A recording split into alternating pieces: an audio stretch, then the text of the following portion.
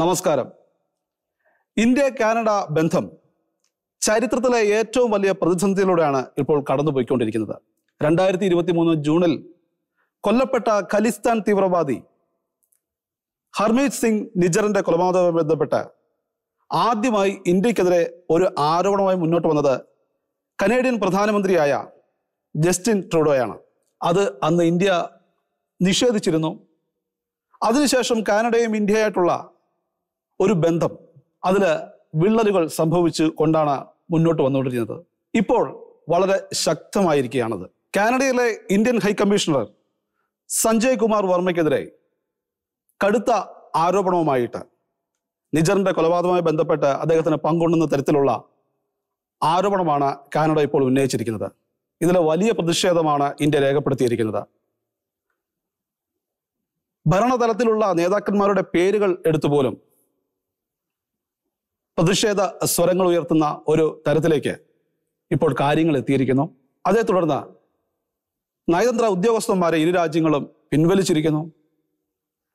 India Canada ബന്ധം അങ്ങനെ വഷളാകുന്ന രീതിയിലേക്ക് കാര്യങ്ങൾ മുന്നോട്ട് പോകുന്നു. നിലപാട് ഇന്ന് ഇതാണ് പരിശോധിക്കുന്നത്. കാനഡയും ഇന്ത്യയും തമ്മിലുള്ള ബന്ധം വഷളാകുകയാണോ? നിലപാടിലേക്ക് ഏവർക്കും സ്വാഗതം. ഞാൻ ലിയോപോൾ എന്നോടൊപ്പം ഉള്ളത് റോബിനും ജോജിയും. ജോജി എന്താണ് ഇപ്പോഴത്തെ ഈ ഇന്ത്യ കാനഡ ബന്ധത്തിന്റെ അവസ്ഥ? ഇത് ഈ ഇങ്ങനെ മുന്നോട്ട് പോയാൽ ഇത് എവിടെ ചെന്ന് അവസാനിക്കും? രണ്ട് രാഷ്ട്രങ്ങൾ തമ്മിലുള്ള അതും വലിയ ലോകരാജ്യങ്ങൾക്കിടയിൽ വലിയ പ്രാധാന്യമുള്ള രണ്ട് രാജ്യങ്ങളാണ് ഇന്ത്യയും കാനഡയും. ഈ ഒരു ഇപ്പോഴത്തെ സിറ്റുവേഷൻ ക്രൈസിസ് എങ്ങനെയാണ് മനസ്സിലാക്കുന്നത്? ഈ എവിടെ നമ്മൾ മനസ്സിലാക്കേണ്ട കാര്യം ഇതാണ്. ശരിക്കൊരു ഇന്ത്യക്കും കാനഡയ്ക്കും ഇടയ്ക്കിൽ ഒരു ഹൈലി ഡിപ്ലോമാറ്റിക് സ്ട്രീം വന്നിരിക്കുകയാണ് ശരിക്കും. എന്നുവെച്ചാൽ രണ്ട് രാജ്യങ്ങളും തങ്ങളുടെ പ്രധാനപ്പെട്ട ആറോളം രണ്ട് രാജ്യത്തും ആറോളം ഹൈ ഒഫീഷ്യൽ ഡിപ്ലോമാറ്റ്സിനെ പിൻവലിച്ചിരിക്കുകയാണ്. ശരിക്കും പുറത്താക്കണം അതിനെക്കുറിച്ച് പറയാൻ പറ്റും. അപ്പോൾ അതൊരു വളരെ ഒരു ഡിപ്ലോമാറ്റിക് സ്ട്രെയിൻ ആണ്. അപ്പോൾ ഇത്ര ഒരു സിവിയറായ ആക്ഷനിലേക്ക് സാധാരണ പെട്ടെന്ന് രാജ്യങ്ങൾ പോകാറില്ല. അപ്പം നമ്മളതിന്റെ റൂട്ട് കോസിനെ പരിശോധിക്കുമ്പോൾ ലിയോ കാണാൻ സാധിക്കും രണ്ടായിരത്തി ഇരുപത്തി മൂന്നിൽ Justin Trudeau Canadian prime minister ഈ ഹർബിത് സിംഗ് നിജർ എന്ന് പറയുന്ന ഈ ഖാലിസ്ഥാൻ ലീഡറിന്റെ കൊലപാതകമായി ബന്ധപ്പെടുത്തി ഇന്ത്യയിലെ ഡിപ്ലോമാറ്റ്സിനെതിരെ ആരോപണം ഉന്നയിക്കുന്നു ശരിക്കും. അപ്പോൾ അതിലൂടെ നിജർ കൊല്ലപ്പെട്ടത് സത്യമാണ് ശരിക്കും. കൊന്നത് തന്നെ അവരുടെ ഈ ഹജ്ജാദനാണ് തന്നെ. പക്ഷെ ശരിക്ക് ഇന്ത്യക്കെതിരെ ആ ഒരു ആരോപണം ഉന്നയിക്കുമ്പോൾ ഈ പിന്നെ ട്രൂഡോയുടെ മനസ്സിൽ പല രാഷ്ട്രീയ ലക്ഷ്യമുണ്ട് ശരിക്കും. വെച്ചാൽ ഇന്ത്യയും കാനഡയും തമ്മിലുള്ള ഒരു ബന്ധം വളരെ സ്മൂത്ത് ആയിട്ട് പോയിക്കൊണ്ടിരിക്കുകയാണ് ശരിക്കും. നമുക്കറിയാം കാനഡയ്ക്ക് ലോകരാജ്യങ്ങളുടെ ഇടയിൽ ഒരു വളരെ പ്രധാനപ്പെട്ട രാജ്യമാണ് കാനഡ. എന്ന് വെച്ചാൽ വളരെ വാസ്റ്റായിട്ടുള്ള area highly developed G seven രാജ്യമാണ്. അപ്പോൾ അവർക്ക് തന്നെ ഈ യു എസിന്റെ ഒരു സംരക്ഷണ കൊടയുണ്ട്. അങ്ങനെ വളരെ പ്രധാനപ്പെട്ട രാജ്യം ശരിക്കും. അപ്പോൾ അത്ര പ്രധാനമുള്ള അല്ലെങ്കിൽ നല്ല സൗഹൃദത്തിൽ പോയിരുന്ന ഈ കാനഡ എന്ന് പറയുന്ന രാജ്യം ശരിക്ക് ഇത്തരത്തിലുള്ള ഒരു ആരോപണം ഇന്ത്യക്കാരെ ഉന്നയിക്കാൻ കാരണം ശരിക്കും ഒരു അതൊരു രാഷ്ട്രീയമാണ്. അതിനകത്ത് വലിയ മറ്റു കുറച്ച് കാര്യങ്ങൾ കൊണ്ട് ഒരു പ്രധാനപ്പെട്ട രാഷ്ട്രീയമായിരുന്നു വെച്ചാൽ ട്രൂഡോയുടെ പാർട്ടിയിൽ വെച്ചാൽ ട്രൂഡോ ലിബറൽ പാർട്ടിയെ സപ്പോർട്ട് ചെയ്യുന്നത് ശരിക്കും അവിടെയുള്ള സിഖ് ആ ഒരു എന്താ പറയുക ഈ കമ്മ്യൂണിറ്റി ന്യൂ ഡെമോക്രാറ്റിക് പാർട്ടി എന്ന് പറയുന്ന ആ ഒരു പാർട്ടിയിൽ ശരിക്കും ഈ ഖാലിസ്ഥാനുമായി ബന്ധപ്പെട്ട് പ്രവർത്തിക്കുന്ന പലർക്കും ബന്ധമുണ്ട്. അപ്പോൾ അവരുടെ പിന്തുണ വേണം. അപ്പോൾ അവിടുത്തെ സിഖുകാരുടെ ഒരു പിന്തുണയ്ക്ക് വേണ്ടിയാണ് ശരിക്കും ആരെ പ്രകാരം ട്രൂഡോ ചെയ്യുന്നത്. എന്നാൽ ആ ഒരു അലിഗേഷൻസ് അവർ എന്നാ പറയുക പുട്ടപ്പ് ചെയ്തു. അതിനുശേഷം പക്ഷെ അവർ കാര്യമായ തെളിവൊന്നും കൃത്യമായിട്ട് കിട്ടിയില്ല. അതിനാൽ അത് തന്നെ അതങ്ങനെ എന്താ പറയുക ഒരു അയഞ്ഞു മുറുകി കൊണ്ട് പോകണം വലിയ അത്ര അസ്വസ്ഥ ഉണ്ടായില്ല അങ്ങോട്ടും ഇങ്ങോട്ടും പക്ഷേ മനസ്സിലാക്കേണ്ട കാര്യങ്ങൾ ഈ രണ്ടായിരത്തി ഇരുപത്തി മൂന്നിൽ ഇത്ര ഒരു ഒരു ആരോപണം ഉണ്ടായപ്പോൾ തന്നെ ഇന്ത്യ ശക്തമായി പ്രതികരിച്ചു. ഇന്ത്യ പഴയ ഇന്ത്യ അല്ല മനസ്സിലാക്കി വിദേശ രാജ്യങ്ങൾ മനസ്സിലാക്കേണ്ട കാര്യമാണ്. അപ്പോൾ യൂറോപ്പ് ആണെങ്കിലും അതുപോലെ കാനഡ ആണെങ്കിലും ആരാണ് മനസ്സിലാക്കുന്ന കാര്യമാണ്? പഴയ ഇന്ത്യ അല്ല പഴയ പോലെ എന്താ പറയുക ഈ പട്ടിണി പാവങ്ങളുടെ ആ ഒരു അവസ്ഥയല്ല ഇന്ത്യ. ഇന്ത്യ വളരെ ശക്തമായി പ്രതികരിച്ചു. കാരണം ഇന്ത്യയ്ക്ക് ഇപ്പോൾ അതിനുള്ള കാരണം ഇന്ത്യ ഒരു ഗ്ലോബൽ മാർക്കറ്റാണ് ശരിക്കും. ഒരു അപ്കമിങ് എന്നാ പറയുക ഈ എക്കോണമി ഉണ്ട് ഇന്ത്യയ്ക്ക്. വളരെ ഗ്രോയിങ് ആയിട്ടുള്ള ഒരു നല്ലൊരു നല്ലൊരു സമ്പദ് വ്യവസ്ഥയുണ്ട് അപ്പോൾ ഇന്ത്യയുടെ ആ ഒരു പ്രതികരണം വളരെ ഷാർപ്പായിരുന്നു ശരിക്കും അപ്പോൾ അതുപോലെ കാനഡ ഒന്ന് പമ്മി അവിടെ നിന്നു. പക്ഷെ വീണ്ടും ഈ കഴിഞ്ഞ ദിവസം ഇങ്ങനെ ട്രൂഡോ ആരോപിച്ചു ആരോപണം മാത്രമല്ല അത് ഇച്ചിരി സിവിയറാണ് ശരിക്കും. സഞ്ജീവ് കുമാർ വർമ്മ എന്ന ഹൈലി റെപ്യൂട്ടഡ് ആയ ഈ ഇന്ത്യൻ ഹൈക്കമ്മീഷനെതിരെയാണ് കാനഡയിലുള്ള ഇന്ത്യൻ ഹൈക്കമ്മീഷനെതിരെ ഒരു ആരോപണം അങ്ങനെ പെട്ടെന്ന് ഉന്നയിക്കുമ്പോൾ അതിനെക്കുറിച്ച് മനസ്സിലാക്കേണ്ട കാര്യമുണ്ട് ശരിക്ക്. എന്താ പറയുക അതൊരു സിവിയർ ആയിട്ടുള്ള ഒരു ഡിപ്ലോമാറ്റിക് സ്ട്രെയിൻ ഉണ്ടാക്കുന്നുള്ള കാര്യത്തെക്കുറിച്ച് അവർക്ക് അതിനെക്കുറിച്ച് ഒരു എന്താ പറയുക ചിന്ത പറയാൻ ശരിക്കും. അപ്പോൾ അപ്രകാരം അങ്ങനെ അത് പറഞ്ഞു. അതിനുശേഷം പക്ഷേ ഇന്ത്യ അതിന് എന്താ പറയുക ഇന്ത്യയുടെ പ്രതികരണം വളരെ ഷാർപ്പാണ് ശരിക്കും ഇന്ത്യ അതിൽ പ്രതികരിച്ചു ഹൈക്കമ്മീഷനെ വിളിച്ചു ഇനിയിപ്പോൾ ഈ ഇവിടുത്തെ ഡെപ്യൂട്ടി ഹൈക്കമ്മീഷൻ കാനഡൻ ഡെപ്യൂട്ടി കമ്മീഷനെ വിളിച്ചു. അദ്ദേഹത്തിന് പ്രദേശം അദ്ദേഹം വളരെ വ്യക്തമായിട്ട് അറിയിച്ചു. അതാണ്. അതെ സാധാരണ സാധാരണ രീതിയിൽ ഇത്തരം പ്രതികരണം ഉണ്ടാകുമ്പോൾ മനസ്സിലാക്കണം ഈ രാഷ്ട്രീയ നേതാക്കന്മാരുടെ അങ്ങനെ പേരെടുത്ത് പറയാറില്ല. ഇത് വളരെ ഷാർപ്പായിട്ട് അവരുടെ പേരെടുത്ത് പറഞ്ഞു. അപ്പോൾ ആ രീതിയിലേക്ക് ഇന്ത്യ ഉപയോഗിച്ചിരിക്കുക അപ്പോൾ നമ്മൾ മനസ്സിലാക്കേണ്ട കാര്യം എന്ന് വെച്ചാൽ ഇന്ത്യ ആമെ അത് വളരെ സീരിയസ് ആയിട്ട് കാണണം. അപ്പോൾ നമ്മൾ രണ്ട് മൂന്ന് കാര്യങ്ങളെ മനസ്സിലാക്കണം ശരിക്ക്. അപ്പോൾ ഈ രാഷ്ട്രീയ നേട്ടത്തിന് വേണ്ടി ജസ്റ്റിൻ ട്രൂഡോ ഇത് ചെയ്യുമ്പോൾ ശരിക്ക് ഇന്ത്യയും കാനഡയും തമ്മിലുള്ള ബന്ധത്തിന്റെ ആ ഒരു വലിയ ആ ഒരു റിലേഷനിൽ ഒരു ഭയങ്കര സ്ട്രെയിനായി മാറുകയാണ് ചെയ്യുന്നത്. അല്ലെങ്കിൽ അത് വെറുതെ തന്നെ ഒരു ദുർബലമായി മാറുന്നതായിരിക്കും. മറ്റൊരു കാര്യം ഇന്ത്യക്കാരെ മനസ്സിലാക്കേണ്ടത് എന്ന് വെച്ചാൽ ഇന്ത്യയിൽ ഒരുപാട് ജനങ്ങളുണ്ട് ഇന്ത്യയിൽ അവിടുത്തെ ശരിക്കും ഒത്തിരി എന്നെ നമുക്കറിയാം മെയിനായിട്ടും അവിടുത്തെ സെക്കൻഡ് ലാർജസ്റ്റ് പോപ്പുലേഷൻ എന്ന് പറഞ്ഞത് അത് പഞ്ചാബികളാണ്. പിന്നെ ഒരുപാട് മലയാളികളാണ്. നമ്മുടെ കേരളക്കാരെ കുറിച്ച് പറയുകയാണെങ്കിൽ ഒരുപാട് മലയാളികൾ. അപ്പം ഈ പഠന ആവശ്യത്തിന് വേണ്ടിയും അവർ ജോലിക്ക് വേണ്ടിയും മൈഗ്രേഷനും ഫാമിലിയൊക്കെ ആയിട്ട് ഒരുപാട് പേര് നേഴ്സിംഗ് സെക്ടറിനും പല സെക്ടറിലായിട്ടും ഒരുപാട് പേര് അവിടെയുണ്ട് ശരിക്കും. അപ്പോൾ അവർക്ക് അവർക്ക് ഇതിനെ സ്ട്രെയിൻ ആയി മാറും ശരിക്കും. റിലേഷൻസ് എല്ലാം വളരെ വളരെ സ്ട്രെയിൻ ആയി മാറും. അപ്പം നമ്മൾ മനസ്സിലാക്കേണ്ടത് ഇന്ത്യയുടെ ഒരു ഒരു പോയിന്റ് ഓഫ് വ്യൂ നോക്കുമ്പോൾ എന്താ പറയുക? ഇപ്പോൾ ഇന്ത്യയ്ക്ക് ശരിക്ക് ഇന്ത്യയുടെ ഒരു എന്താ പറയുക ഈ നാഷണൽ സെക്യൂരിറ്റിയെ ബാധിക്കുന്ന ഏതൊരു ത്രെറ്റ് ഇപ്പം നമ്മൾ ഞാൻ പറയുകയാണെങ്കിൽ ഈ കാലിസ്ഥാന്റെ ആ ഒരു ഈ ഫോർമേഷൻ മുതൽ തന്നെ. അപ്പം ഈ കാലിസൺ ഫോർമേഷൻ കാലത്ത് അതിന്റെ അതിന്റെ ആ ഒരു ലീഡേഴ്സിന്റെ പ്രധാനപ്പെട്ട ഡിമാൻഡ്സ് ഇതായിരുന്നു. ശരിക്ക് അവർക്ക് അവർക്ക് പഞ്ചാബ് ഹരിയാന അതുപോലെ പിന്നെ ഹിമാചൽ പ്രദേശ് പിന്നെ രാജസ്ഥാന്റെ ഏതാനും ചില ഭാഗങ്ങൾ ഇവയുടെ ചേർത്ത് ഒരു സ്വതന്ത്രമായ ഒരു രാജ്യം വേണം അതാണ് ശരിക്കും അതിൽ അതിലെന്താ പറയുക ഈ കാശ്മീരിലെ ആ ഒരു മറ്റുള്ള ഈ എന്നാ മുസ്ലിം തീവ്രവാദികളുടെ ആ ത്രെറ്റ് പോലെ തന്നെ ഒരു വളരെ ഒരു നമ്മുടെ നാഷണൽ സെക്യൂരിറ്റി ബാധിക്കുന്ന ഒരു വലിയ ത്രെറ്റാണ് ശരിക്കും അപ്പോൾ ആ ത്രെറ്റ് അതങ്ങനെ അവർ അതിന്റെ ഒരു ആ പ്രവർത്തനം ആദ്യം ആരംഭിച്ചു യു കെയിലാണ് ശരിക്കും. അപ്പോൾ ഇതൊരു ശരിക്കും ഒരു ലിങ്കാണ്. ശരിക്കും ഈ Canada U S U K ഇതൊക്കെ ഒരു ലിങ്കിൽ അവരങ്ങനെ ശരിക്കും പ്രവർത്തിക്കുകയാണ് ശരി മറ്റൊരു റീസൺ പറയുകയാണെങ്കിൽ ശരിക്കും ഇന്ത്യയുടെ ഒരു ഗ്രോയിങ് ആയിട്ടുള്ള ഇന്ത്യയുടെ ഒരു ഇക്കോണമിക് ഗ്രോത്ത് അല്ലെങ്കിൽ ഒരു എന്താ പറയുക ഈ ഇന്റർനാഷണൽ ആയിട്ടുള്ള ആ ഒരു ഇൻഫ്ലുവൻസ് അതൊക്കെ ഇവരെ വല്ല അസ്വസ്ഥപ്പെടുത്തുന്നു ശരിക്കും. അപ്പോൾ തീർച്ചയായിട്ടും ഇന്ത്യയ്ക്ക് പുറത്ത് ഈ വലിയ രാജ്യങ്ങളിൽ ഉടലെടുക്കുന്ന ഇന്ത്യ വിരുദ്ധ ശക്തികളുടെ വളർച്ച. അത് ഇന്ത്യയെ പ്രത്യേകം ബാധിക്കും. അത് ഇപ്പോഴേ തടയേണ്ടത് ഇന്ത്യയുടെ ആവശ്യമാണ്. ആവശ്യമാണ്. അപ്പൊ അതാണ് ഇത്തരത്തിലുള്ള ഒരു സിവിയർ ആക്ഷനിലേക്ക് പോകുന്നത്. അപ്പൊ ഈ എനിക്ക് തോന്നുന്നത് ചില ഇന്ത്യ അങ്ങനെ ഈ ഒരു കാര്യത്തിൽ പുറകോട്ട് പോകുമെന്ന് തോന്നുന്നില്ല. അവർ വളരെ ശക്തമായ സ്ട്രിക്റ്റ് ആക്ഷൻ എടുത്തുകൊണ്ട് പോകും. ഇപ്പൊ കാനഡയുടെ സാമ്പത്തിക വ്യവസ്ഥ അല്ലെങ്കിൽ കാനഡയുടെ ഇൻഫ്ലുവൻസ് ഒന്നും ഇന്ത്യ നോക്കിയില്ല. ഇന്ത്യയ്ക്ക് ഇന്ത്യയുടേതായ ആ ഒരു നാഷണൽ സെക്യൂരിറ്റി വളരെ വളരെ ഇമ്പോർട്ടന്റ് ആണ്. ഇന്ത്യ ആ മേഖലയിൽ അവർ എന്താ മുന്നോട്ട് പോകുന്നതാണ് എനിക്ക് പറയാനുള്ളത്. അത് എന്താ പറയുക ഈ രീതി മുന്നോട്ട് പോവുകയാണെങ്കിൽ ഈ രണ്ട് രാജ്യങ്ങളുടെയും ആ ഒരു ഡിപ്ലോമാറ്റിക് റിലേഷൻസ് ഒന്നുകൂടെ സ്ട്രെയിൻ ആകുകയുള്ളൂ അത് രണ്ട് കൂട്ടർക്കും നഷ്ടമാണ്. ശരിക്കും ഇന്ത്യക്കും പ്രശ്നമുണ്ട്. എന്നാൽ അതിനേക്കാൾ അതുപോലെ തന്നെ കാനഡയ്ക്ക് പ്രശ്നം ഉണ്ടായി മാറും. റോബിൻ ഇപ്പോൾ തീവ്രവാദമാണ് ലോകത്തിന് ഏറ്റവും വലിയ ഭീഷണി. ഇപ്പൊ നമുക്കറിയാം മിഡിൽ ഈസ്റ്റിൽ യുദ്ധം നടക്കുന്നു. ഇപ്പൊ ലോകരാജ്യങ്ങളെല്ലാം തീവ്രവാദത്തിനെതിരെ ഒരുമിച്ച് നിൽക്കേണ്ട ഒരു സമയത്തിലൂടെയാണ് നമ്മൾ കടന്നു പോകുന്നത് അപ്പൊ ഇങ്ങനെയുള്ള വിഘടന ശക്തികൾ വിഘടനവാദികളൊക്കെ മറ്റു രാജ്യങ്ങൾ വളർന്നു വരുന്നത്. പ്രത്യേകിച്ച് ഇന്ത്യയ്ക്ക് ഭീഷണിയായി വളർന്നു വരുന്നത്. നമുക്ക് എങ്ങനെയാണ് അത് ഇപ്പോൾ നോക്കിക്കാണാൻ സാധിക്കുന്നത്? ഈ നമ്മൾ ഏറ്റവും ചെറിയ ഉദാഹരണം നമുക്ക് എടുക്കാവുന്നത്. അതൊരു വലിയ ഉദാഹരണമാണ്. പക്ഷേ നമുക്ക് എടുക്കാൻ പറ്റുന്നത് ഈ ആയിരത്തി തൊള്ളായിരത്തി എൺപത്തി നാലിൽ ഈ ബിദ്രൻവാലേനെ ഈ ഗോൾഡൻ ടെമ്പിൾ ഈ ഖാലിസ്ഥാൻ തീവ്രവാദികൾ ഗോൾഡൻ ടെമ്പിളിനുള്ളിൽ കട കടന്ന് അവിടെ അവർ ആളുകളെ ബന്ദികളാക്കി വെച്ച് അവരവിടെ കടക്കുകയും അന്നേരം ഇന്ത്യയുടെ സൈന്യം മൂവ് ചെയ്ത് കനത്ത ഫയറിങ് നടക്കുകയും ഇവരെയെല്ലാം വെടിവെച്ച് ഇല്ലാതാക്കുകയും ചെയ്യുന്ന ഒരു ഒരു ഭീതിതമായ ഒരു അന്തരീക്ഷമുണ്ട്. നമ്മൾ അവിടെ വെച്ചാണ് ഈ ഖലിസ്ഥാൻ മൂവ്മെന്റിനെ എന്തുകൊണ്ട് ഇന്ത്യ ഇത്ര ശക്തമായി നേരിടുന്നു എന്നുള്ളത് മനസ്സിലാക്കേണ്ടത്. കാരണം ഇന്ത്യയ്ക്ക് ഖാലിസ്ഥാൻ മൂവ്മെന്റ് സമ്മാനിച്ചിട്ടുള്ളത് അരക്ഷിതാവസ്ഥ മാത്രമാണ്. അരക്ഷിതാവസ്ഥ മാത്രമാണ്. നമുക്കൊരിക്കലും ഈ ഖാലിസ്ഥാൻ മൂവ്മെന്റിനെ ഒരു രീതിയിലും വെച്ച് ഓർപ്പിക്കാൻ കഴിയില്ല. കാരണം അവിടെ ഗോൾഡൻ ടെമ്പിളിൽ അന്ന് നടന്ന ആക്രമണത്തിന് ശേഷം പിന്നീട് ഇന്ദിരാഗാന്ധിയുടെ കൊലപാതകം അതിനുശേഷം സിഖ് കലാപം സിഖുകാർക്കെതിരെ നടന്ന കലാപം ഇതെല്ലാം രാജ്യത്തിന് സമ്മാനിച്ചത് ഒരു രീതിയിൽ പറഞ്ഞു കഴിഞ്ഞാൽ കറുത്ത ഹിസ്റ്ററി കറുത്ത ചരിത്രമാണ് അതെല്ലാം. കറുത്ത ചരിത്രമാണ്. കാരണം ആ രീതിയിൽ ഒരു രാജ്യത്തെ എത്തിക്കാൻ ഇതുപോലുള്ള ഒരു തീവ്രവാദ സംഘടനയ്ക്ക് കഴിഞ്ഞു എന്നുള്ളതാണ് നമ്മൾ ഏറ്റവും ആദ്യം മനസ്സിലാക്കേണ്ടത്. നമ്മൾ ഈ ഖാലിസ്ഥാൻ മൂവ്മെന്റിനെ തന്നെ മനസ്സിലാക്കുമ്പോൾ ആ ചരിത്രമാണ് നമ്മൾ എടുക്കേണ്ടത്. കാരണം എങ്ങനെ ഒരു രാജ്യത്തെ അരക്ഷിതാവസ്ഥയിൽ എത്തിക്കാൻ കഴിയും എന്നുള്ളതിന്റെ ഏറ്റവും വ്യക്തമായ ഉദാഹരണമാണ്. അതുകൊണ്ട് ഈ ചരിത്രം വളരെ കൃത്യമായി ഉള്ളതുകൊണ്ട് തന്നെ ഇന്ത്യയെ ആർക്കൊക്കെ ഒരു അരക്ഷിതാവസ്ഥയിൽ എത്തിക്കണം? അതുമല്ലെങ്കിൽ ആർക്കൊക്കെ ഒരു സമ്മർദ്ദത്തിലേക്ക് നമ്മുടെ രാജ്യത്തെ എത്തിക്കണം എന്ന് തീരുമാനിച്ചാൽ അവർക്ക് ഈ ചരിത്രം ഒരു പാഠമാണ്. അതാണ് നമ്മളെ ഏറ്റവും കൂടുതൽ അലട്ടുന്നത്. അതുകൊണ്ടാണ് ഖലിസ്ഥാന്റെ ഒരു വാദത്തെയും ഒരു വാദത്തെയും ആ രീതിയിലുള്ള ഒരു വാദത്തെയും നമ്മുടെ രാജ്യത്ത് വെച്ച് പൊറിപ്പിക്കാൻ നമ്മുടെ രാജ്യം നമ്മുടെ അത്ര ശക്തമായി പ്രതികരിക്കുന്നത്. നമുക്കറിയാം കാനഡയ്ക്കെതിരെ ഇന്ത്യ പ്രതികരിച്ചിരിക്കുന്നത് ശക്തമായിട്ടാണ് അതിശക്തമായിട്ടാണ്. ഇപ്പോൾ ജി ട്വന്റി രാജ്യങ്ങളുടെ സമ്മിറ്റിന് വേണ്ടിയിട്ട് Canadian prime minister Justin Trudeau എത്തി. അപ്പോൾ പ്രധാനമന്ത്രി നരേന്ദ്രമോദി എത്ര ശക്തമായിട്ടാണ് അദ്ദേഹത്തോട് പ്രതികരിച്ചത് എന്നുള്ളത് നമുക്ക് എല്ലാവർക്കും അറിയാവുന്നതാണ്. നമ്മളെല്ലാവരും കണ്ടതാണ് ഇന്റർനാഷണൽ മീഡിയകൾ അടക്കം അത് കൃത്യമായി അതിനെ പബ്ലിഷ് ചെയ്തതാണ്. കൃത്യമായിട്ട് അതിനെ കണ്ടതാണ്. അപ്പോൾ എന്തുകൊണ്ട് അങ്ങനെ ചെയ്യുന്നു എന്നുള്ളതിന്റെ ഏറ്റവും വലിയ ഉദാഹരണമാണ് ഇത്.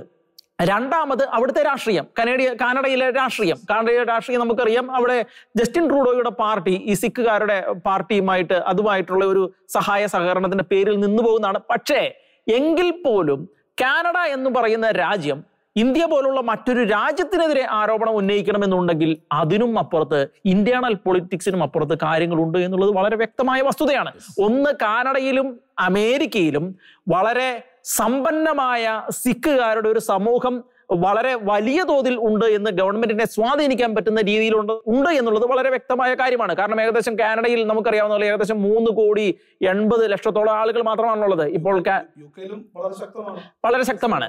ശക്തമാണ്. അമേരിക്കയിൽ വളരെ ശക്തമാണ്. ട്രംപിന്റെ ഇലക്ഷന്റെ കാലഘട്ടത്ത് നമ്മുടെ പ്രധാനമന്ത്രിയെ അങ്ങോട്ട് കൊണ്ടുപോയി ഇപ്രാവശ്യം രാഹുൽ ഗാന്ധിയെ അങ്ങോട്ട് കൊണ്ടുപോകുന്ന സാഹചര്യങ്ങളുണ്ടായി. കാരണം ഇലക്ഷനിൽ ഇവരുടെ പ്രാതിനിധ്യം വളരെ സിഗ്നിഫിക്കന്റ് ആണ്. അപ്പോൾ ഈ കാനഡ എന്ന് പറയുന്ന രാജ്യത്ത് നമുക്കറിയാവുന്ന പോലെ വെറും മൂന്ന് കോടി എൺപത് ലക്ഷത്തോളം മനുഷ്യർ മാത്രമാണ് ജീവിക്കുന്നത്. എന്ന് വെച്ചാൽ ലോകത്തിലെ ഏറ്റവും വലിയ രാജ്യങ്ങൾ ഏകദേശം ഒരു കോടിക്കടുത്താണ് ഈ കാനഡയുടെ ലാൻഡ് വിസ്തൃതി എന്ന് പറയുന്നത് ലാൻഡും ആ ഏരിയ കാനഡയുടെ വിസ്തൃതി എന്ന് പറയുന്നത് ഒരു കോടിക്കടുത്താണ് അതിന്റെ വിസ്തൃതി എന്ന് പറയുന്നത്. അപ്പോൾ അത്രയും വലിയൊരു രാജ്യത്തിന്റെ നമുക്കറിയാവുന്ന ഒരു അമേരിക്കയോട് അമേരിക്കയോട് ചേർന്ന് കിടക്കുന്ന കുറേ ഭാഗങ്ങൾ മാത്രമാണ് നമുക്ക് താമസിക്കാൻ പറ്റുന്ന ഇടങ്ങളായിട്ടുള്ളത് ബാക്കിയെല്ലാം ടുണ്ട്ര എന്ന് പറയുന്ന പറയുന്ന ഫ്രോസൺ ഏരിയകളാണ്. അതുപോലെ പിന്നീട് അങ്ങോട്ട് ആർട്ടിക്കിന്റെ മേഖലകളിലേക്കൊക്കെ കടന്നുപോയി കഴിഞ്ഞാൽ പിന്നെ ജീവിക്കാൻ പറ്റാത്ത അവസ്ഥയാണ്. പക്ഷേ ഇത്രയും വലിയൊരു രാജ്യത്ത് ഇത്രയും കുറഞ്ഞ ജനങ്ങളുള്ള ഒരു രാജ്യത്ത് വെറും മൂന്ന് കോടി അൻപത് ലക്ഷത്തോളം മാത്രം ജനങ്ങളുള്ള ഒരു രാജ്യത്ത് അഞ്ച് ശതമാനം ഇന്ത്യൻസ് എന്ന് പറയുന്നത് വളരെ സിഗ്നിഫിക്കന്റ് ആണ് എല്ലാ അർത്ഥത്തിലും. അതുപോലെ തന്നെ ഇവർ വളരെ സമ്പന്നരാണ്. അങ്ങനെ നോക്കുമ്പോൾ ഈ ജനങ്ങളുടെ ആവശ്യത്തെ ഖാലിസ്ഥാൻ ആവശ്യത്തെ ഒരു രീതിയിൽ പറഞ്ഞു കഴിഞ്ഞാൽ രാഷ്ട്രീയപരമായി ഇൻഫ്ലുവൻസ് ചെയ്യപ്പെടാം. എങ്കിൽ പോലും കാനഡയുടെ ഭരണവ്യവസ്ഥ നിലകൊള്ളുന്നത് അമേരിക്കയുമായിട്ട് വളരെ ചേർന്നാണ്. അവിടെയാണ് പലപ്പോഴും നമ്മൾ മനസ്സിലാക്കേണ്ടത് അമേരിക്കയ്ക്ക് ഇതിനുള്ളിൽ എന്തെങ്കിലും താല്പര്യമുണ്ടോ എന്ന്. ഇത് പലപ്പോഴും ഒരു രീതിയിൽ പറഞ്ഞാൽ രാജ്യങ്ങൾ തമ്മിലുള്ള ഒരു ഇപ്പോൾ റഷ്യയുമായി ഇന്ത്യ വളരെ വലിയ തോതിലുള്ള അടുപ്പം ഈ റഷ്യ ഉക്രൈൻ വാറിന്റെ സമയത്ത് കാണിക്കുന്ന സമയത്ത് തന്നെ അമേരിക്കയുടെ ഭാഗത്തു നിന്നും ആ സമയത്താണ് നമ്മൾ ഓർക്കണം കഴിഞ്ഞ ജി ട്വന്റി സമ്മിറ്റിന്റെ സമയത്ത് ഇതുപോലുള്ള ഈ ആരോപണം വളരെ ഉയർന്നു വന്ന സമയം അതാണ്. അത് കഴിഞ്ഞ് റഷ്യയുമായി നമ്മൾ അടുക്കുന്ന വളരെ വലിയ തോതിലുള്ള ഇപ്പം ക്വാഡ് സഖ്യം പോലെയുള്ള ഇപ്പം ഓസ്ട്രേലിയ അതുപോലെ അമേരിക്ക ജപ്പാൻ അടക്കമുള്ള ഈ രാജ്യങ്ങൾ നമ്മളിൽ നിന്ന് അകലുന്ന സാഹചര്യമുണ്ടായി. അതുപോലെ തന്നെ ബംഗ്ലാദേശിന്റെ അസ്ഥിരത ഒരു ഭാഗത്തുണ്ടാകുന്ന സാഹചര്യമുണ്ടായി. ഇങ്ങനെ പല രീതിയിലുള്ള സമ്മർദ്ദങ്ങൾ ഉണ്ടാകുന്ന സാഹചര്യമുണ്ടായി. അപ്പോൾ ആ സമയത്ത് ഇപ്പോൾ ക്വാഡുമായിട്ട് ഇന്ത്യ സഹകരിച്ച് മുന്നോട്ട് പോകുന്നു. ക്വാഡിന്റെ സഖ്യത്തിൽ ഇന്ത്യ പാർട്ടിസിപ്പേറ്റ് ചെയ്തു. ഈ സമയത്ത് മറ്റൊരു സമ്മർദ്ദം എന്ന് വെച്ചാൽ മറ്റേ ഇപ്പൊ റഷ്യയുടെ ഭാഗത്തു നിന്നോ അതുപോലെ ചൈനയുടെ ഭാഗത്തു നിന്നോ ഒക്കെ ഉണ്ടാകുന്ന ഇറാന്റെ ഭാഗത്തു നിന്നും ഉണ്ടാകുന്ന ഒരു രീതിയിൽ പറഞ്ഞു കഴിഞ്ഞാൽ അവരുടെ എല്ലാം അവരോട് ചേർന്ന് നിൽക്കാനുള്ള ആ സമ്മർദ്ദത്തെ കൗണ്ടർ ചെയ്യാൻ വേണ്ടി അമേരിക്ക അടക്കമുള്ള രാജ്യങ്ങൾ അമേരിക്കയുടെ ചേരിയിൽ നിൽക്കുന്ന രാജ്യങ്ങൾ ഇന്ത്യക്കെതിരെ പ്രയോഗിക്കുന്ന ഒരു കാര്യമായിട്ട് ഈ നിജറിന്റെ കൊലപാതകം വീണ്ടും പൊക്കിക്കൊണ്ടുവരികയും രാജ്യങ്ങൾ തമ്മിൽ ഏകദേശം എയ്റ്റ് പോയിന്റ് സംതിങ് ബില്യൺ ഡോളേഴ്സിന്റെ വ്യാപാരം നമ്മൾ കാനഡയായിട്ടുണ്ട്. അങ്ങനെയൊക്കെയുള്ള കാര്യങ്ങൾ അവിടെ സംഭവിക്കുന്നുണ്ട്. ആ സമയത്ത് ഇതിനെ അങ്ങനെ ഒരു വസ്തുതയായിട്ട് വേണമെങ്കിൽ നമുക്ക് കാണാം. ഇനി മറ്റൊന്ന് ഈ ഖാലിസ്ഥാൻ തീവ്രവാദത്തിന് പാകിസ്ഥാന്റെ അതിശക്തമായ പിന്തുണ. നമുക്കറിയാം പഞ്ചാബ് എന്ന് പറയുന്നത് നമ്മുടെ ഏറ്റവും സമ്പന്നമായ ഒരു ഭൂപ്രദേശം കൂടിയാണ് പഞ്ചാബ് എന്ന് പറയുന്നത്. അപ്പോൾ ഈ പഞ്ചാബ് അതുപോലെ തന്നെ പാകിസ്ഥാന്റെ ഭാഗത്തുള്ള പഞ്ചാബും അങ്ങനെ തന്നെയാണ്. അപ്പോൾ പാകിസ്ഥാന്റെ ഭാഗത്ത് നിന്ന് വളരെ ശക്തമായ പിന്തുണയാണ് ഈ ഖാലിസ്ഥാൻ മൂവ്മെന്റിനുള്ളത് എന്നുള്ളത് ഇന്ത്യ സർക്കാർ വളരെ വ്യക്തമായിട്ട് നമുക്ക് മനസ്സിലായിട്ടുള്ള കാര്യമാണ്. അതുപോലെ തന്നെ കർഷക പ്രക്ഷോഭത്തിന്റെ ആ അതിലെല്ലാം ഖാലിസ്ഥാനികളുടെ ഇടപെടൽ വളരെ വ്യക്തമായിരുന്നു. അപ്പോൾ ഇവർ ഇടപെടുന്നത് എന്തിനു വേണ്ടി?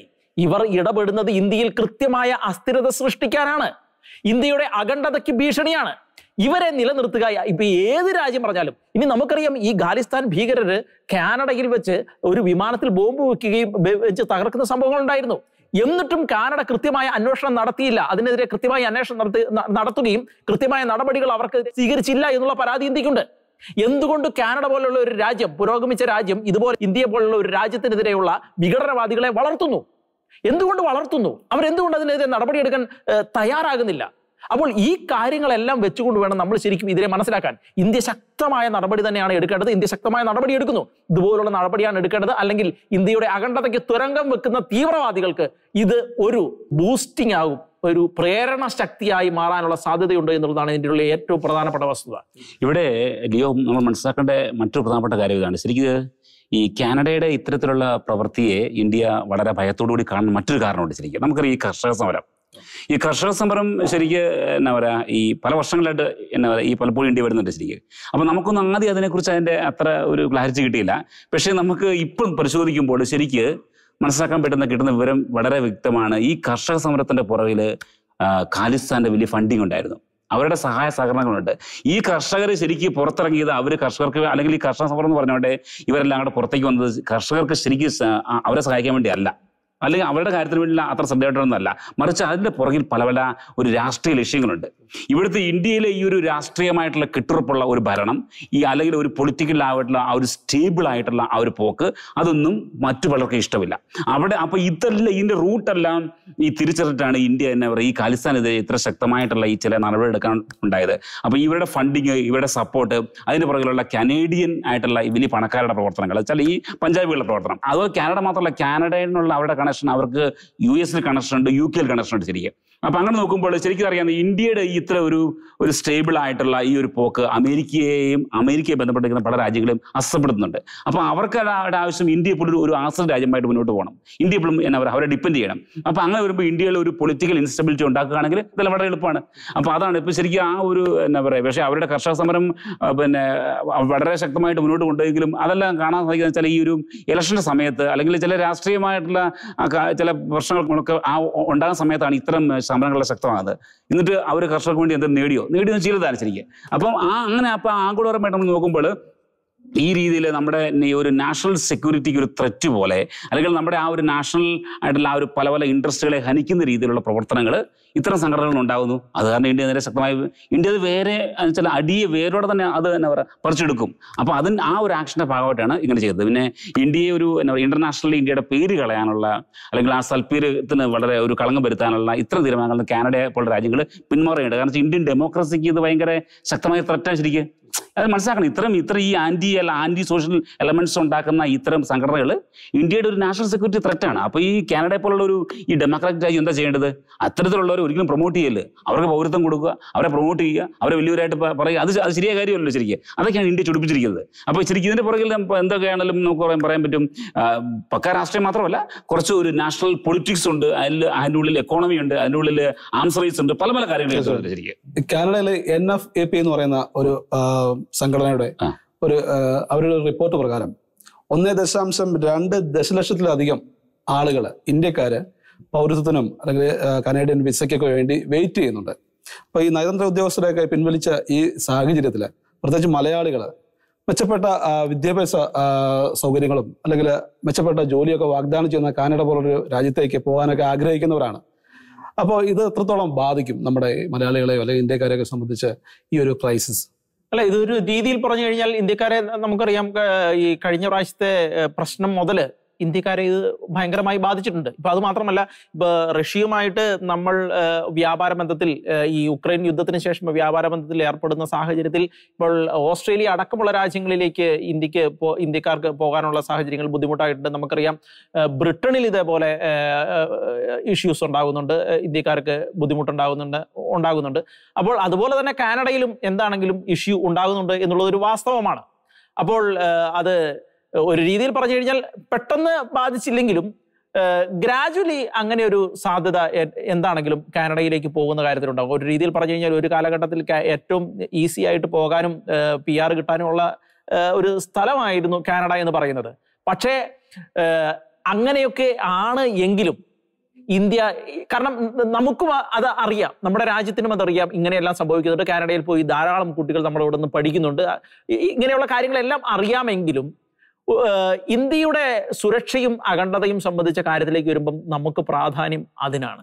സുരക്ഷയ്ക്കും ഇതിനുമാണ് പ്രാധാന്യമുള്ളത്. അത് മാത്രമല്ല ഈ ഖാലിസ്ഥാൻ മൂവ്മെന്റ് നമുക്കറിയാവുന്നതുപോലെ ബ്രിട്ടനിൽ ഇന്ത്യൻ എംബസിയുടെ വളപ്പിൽ കയറുകയും ഖാലിസ്ഥാന്റെ പതാക ഉയർത്തുകയും ചെയ്ത സാഹചര്യം ഉണ്ടായിരുന്നു. അപ്പോൾ നമ്മൾ അന്ന് ആരോപിച്ച ഒരു കാര്യം എന്ന് പറഞ്ഞ് എന്തുകൊണ്ട് ഇത്രയും സുരക്ഷിതമായ ഒരു സ്ഥലത്തിന് ഇങ്ങനെ സംഭവിക്കുന്നു? ഈ രാജ്യങ്ങളിൽ എന്തുകൊണ്ട് ഇങ്ങനെ സംഭവിക്കുന്നു? അത് അങ്ങനെ വെറുതെ കാണാൻ നമുക്ക് കഴിയില്ല.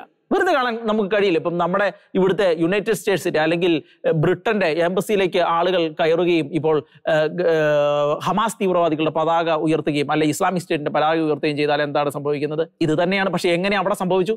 അപ്പോൾ ഇതാണ് പറയുന്നത് പല രീതിയിലും നമ്മുടെ രാജ്യത്തെ ഒരു സമ്മർദ്ദത്തിലേക്ക് എത്തിക്കാനുള്ള ശ്രമങ്ങൾ പല രാജ്യത്തിന്റെ ഭാഗത്തു നിന്നും ഉണ്ടാകുന്നുണ്ട്. കാരണം അവരെ സംബന്ധിച്ച് ഇന്ത്യ എന്ന് പറയുന്നത് ഒരു രീതിയിൽ പറഞ്ഞാൽ ലോകത്തിലെ ഏറ്റവും സ്ട്രാറ്റജിക് ആയിട്ട് കിടക്കുന്ന പ്രദേശങ്ങളിൽ ഒന്നാണ് ഇന്ത്യ. ഇന്ത്യൻ മഹാസമുദ്രം അറബിയൻ സീ അതുപോലെ തന്നെ ബംഗാൾ ഉൾക്കടൽ അടക്കമുള്ള രാജ്യ സ്ഥലങ്ങൾ.